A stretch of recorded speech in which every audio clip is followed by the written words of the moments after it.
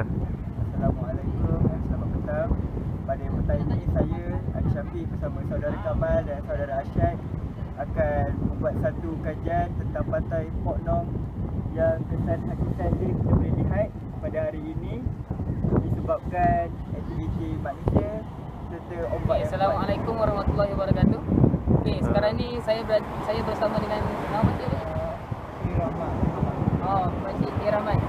Okey, jadi Pak Cik, uh, saya nak tanya uh, apa pandangan Pak Cik tentang pantai ni dan apa uh, isu-isu yang berlaku dekat dekat kawasan ni? Susu yang berlaku ni, perahu ni memang besar.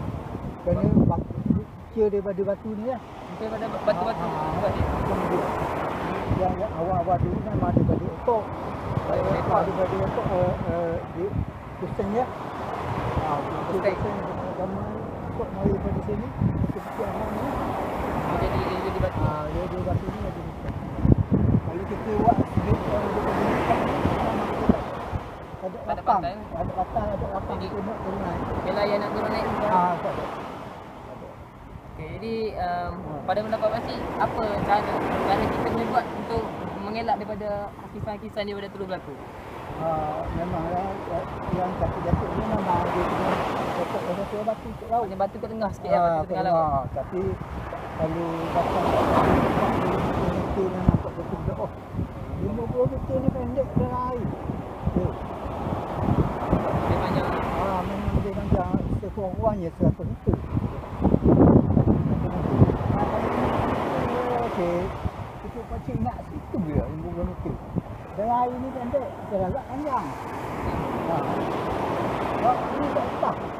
Ani mai kuat kot ni pun tak sah. Dia tak lama gonggong dia. bertingkah kaki Ah, lagi dapat. Ada buat kecil atas itu. Gonggong lagi. Nak kau nak nama makan-makan. betul lagi. Betul lagi. Oh. Maknanya maintaining kita boleh buat panjang lagi ke tengah. Ah, tengah lagi gitu. Tak macam mana ada aku ya. Kami ni dia. Ya.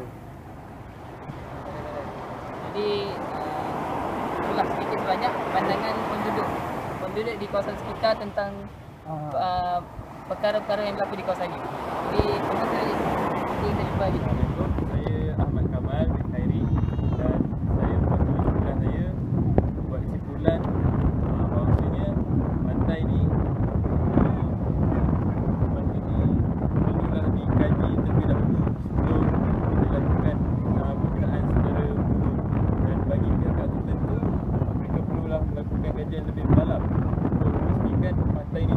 kes sebelum kerja terlambat dan bagi kita